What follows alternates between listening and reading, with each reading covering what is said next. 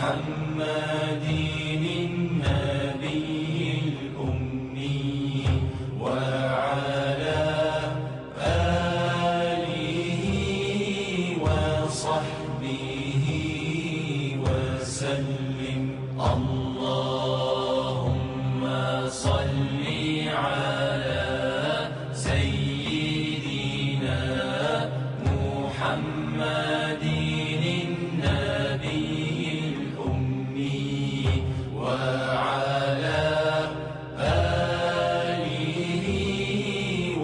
وصحبه وسلم. اللهم صل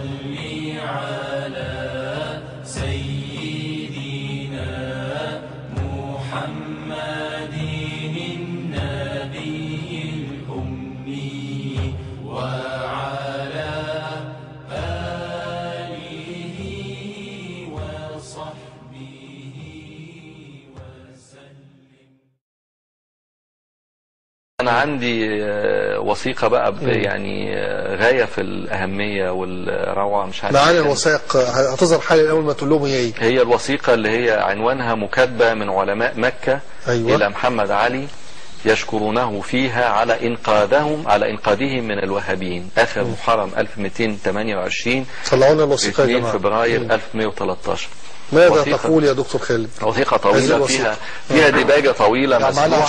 آه. فيها آه, آه لا مش دي. مش, مش دي, دي؟ وثيقة طيب. تانية. آه الوثيقة اللي عليها الأختام اللي في الهوامش. أيوة دي. هي دي. الفقرة الثانية منها هي فقرتين زي ما حضراتكم شايفين بتقول آه، رسالة من المفاتي والخطباء والأئمة والمدرسين والعلماء. جامع مفتي. جامع مفتي.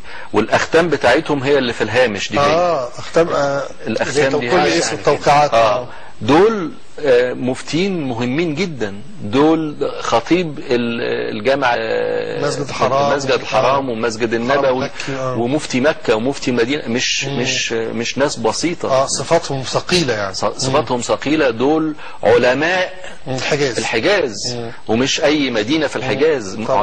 فبيقولوا فيها إيه؟ بيقولوا فيها ينهون إلى مسامعكم العالية الطاهرة بأنه قد وفدت إليهم عساكركم المنصورة فانقذتهم من أيدي أولئك الشروق الخوارج المعتدين الطغاة البغاة الملحدين الذين سعوا في جزيرة العرب بالفساد وزيفوا عقائدهم بالحلول والإلحاد واستحلوا دماء أهل الإسلام وصدوا كل وافد إلى بيت الله الحرام.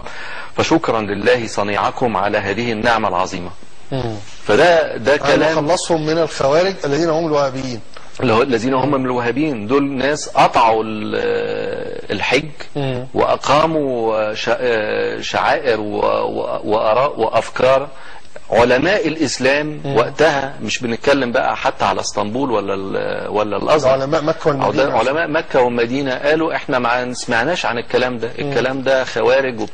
فقصدي أقول إن ال... ال... ده السياق التاريخي اللي يجب وضع الوهابين فيه. طبعا هرجع تاني.